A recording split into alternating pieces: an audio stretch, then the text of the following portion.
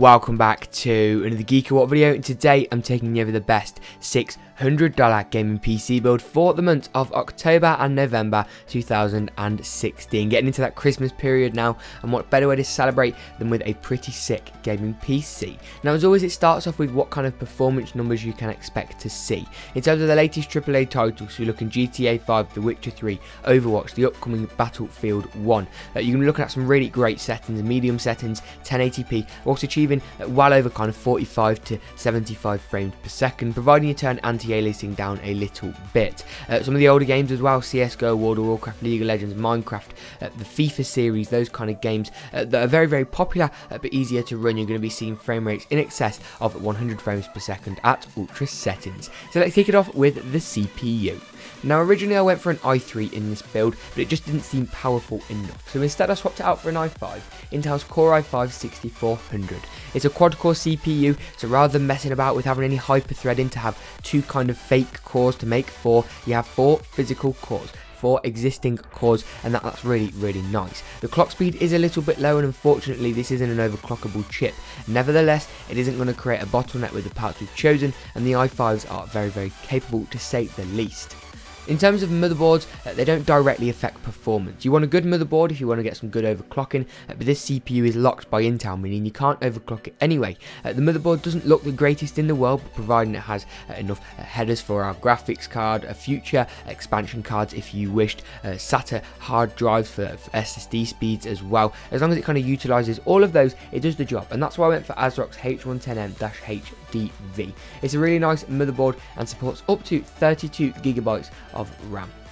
In terms of the RAM that I chose, 18GB of Kingston at Fury DIMM is absolutely perfect. You don't need two 4GB DIMMs for dual channel performance because all that's going to do is populate both the RAM DIMM slots on the motherboard. 16GB, some would argue, is coming the new 8GB of RAM nowadays. So if you do want to get another 8GB stick of RAM from Kingston uh, 6 months, 12 months down the line, you can do that without having to replace what you already have. Uh, this RAM comes clocked at 2400 MHz, which isn't the fastest RAM in the world, uh, but any faster isn't going to warrant a good price to performance performance ratio and fitting all the parts in for this budget was a little bit hard uh, so I decided just to stick with the 8 gig for now it will do you absolutely fine.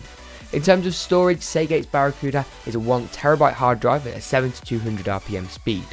Don't get me wrong, hard drives aren't as uh, reliable, shall we say, and they aren't as fast. They certainly aren't as fast as SSDs. However, I've had great experiences with these Seagate drives. I've got two 4TB ones in my system that I'm editing this video on. I've got a 1TB one downstairs in my living room home theatre PC, and I also had one in my first ever computer, and two in my server. Uh, so if anyone can testament to these drives, it's me, and I really do trust them. 7200 RPM is as fast as mainstream consumer hard drives go, so just grab these, and links to all the products I've mentioned will be uh, for Amazon in the description below. In terms of a graphics card, XFX Radeon RX 470 is the perfect choice. Now I'll actually have a review of this graphics card coming up tomorrow, the day after this video is released. So if you'd like to see uh, even more hands-on with this graphics card, then make sure you go and watch that. The RX 470 is one of my favourite graphics cards of this year. It provides a great balance between getting a good price point and good value, yet also getting good performance, 1080p, high and ultra settings, uh, uh, whilst achieving some really, really nice frame rates. And this XFX one is actually the cheapest RX 470 I've found on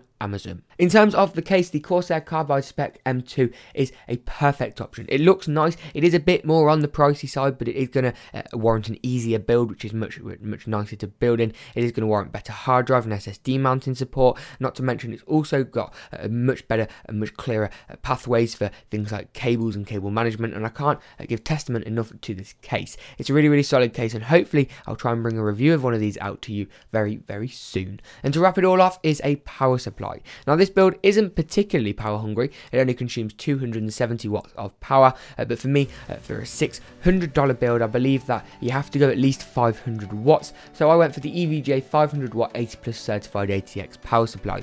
The 80 plus certification is guaranteed by an external company and adjudicator, and this will verify that the power supply will run above 80% efficiency at all times. Don't get me wrong, an 80 plus bronze, silver or gold certification or even platinum for example may have been a nice addition but certainly wouldn't have been necessary. You want a power supply from a reputable manufacturer and EVGA certainly are one. And I do hope you enjoyed the parts that I put together for you. If you'd like to see more content like this, more real life builds as well, please make sure to drop a like rating below. Uh, drop me a comment, hit me up on Twitter as well if it gets a bit crowded in the comment section below. Check out some of my reviews. I recently did a review for the uh, uh, Asus Strix headset and RX 470 graphics card and a build guide for FIFA 17. But as always, please make sure to make there if I can talk to drop a like rating, subscribe, and as always, we'll see you in the next GeekaWhat video.